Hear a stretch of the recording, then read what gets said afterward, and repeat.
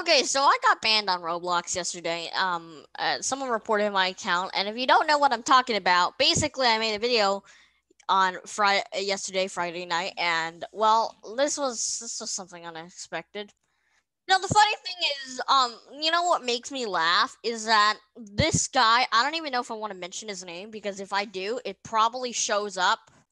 But you guys person with the with the with the the with with the Neox thing. Now I actually re- now the funny thing is. I report like seven thousand people reported him, but he didn't get banned. But I got banned, so that's kind of weird when I went to log in this morning, which I obviously thought I would get banned, so uh, I I came back in the more I came back today and saw this. But anyways, guys, don't troll because trolling is is not the best. You know the funny thing about this is if I go to cash.gg, it's not even a thing. It says name for sale, and it's twenty thousand dollars. Dude, lit, what like Google is like I believe it's like twelve dollars a year. I don't remember, but oh my gosh, twenty thousand dollars. But anyways, that was a pretty wild video. If you enjoyed, make sure to click that subscribe button. If you haven't checked that video out, you should definitely go ahead and check it out.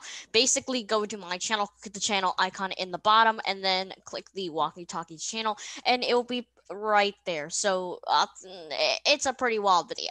But yeah, thanks so much for watching, and I will see you guys next time. Oh, they already grabbed everything. Okay, bye.